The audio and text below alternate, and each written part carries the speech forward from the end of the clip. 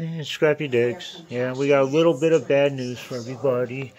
Uh, Scrappy's getting up there in age. He's actually, believe it or not, almost 12 years old. And he likes walking away from the camera. We need you over here, Scrappy.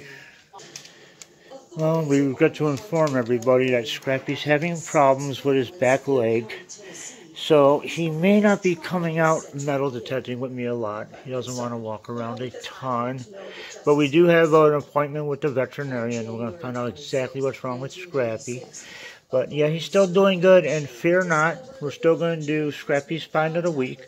But we're going to talk Scrappy treasure. His treasure is not like ours. Like he likes toys and new snacks and stuff like that. So if you don't see him out in the field, you'll see him in the house showing you his type of treasure.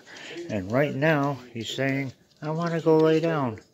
Okay, so there's a Scrappy update. We'll let you know, guys, what's going on with him. And now it's munch munch time. No, no worries, guys. I'll be okay. I just can't walk very far. And I'm going to show you my treasures around the house. But when I get out, I'll still be the, the penny finding puppy. And right now, I'm about to attack my food. Sniff, sniff. All right, guys. Thank you for watching. I love you. I'm Scrappy Diggs. Yum, yum, yum, yum.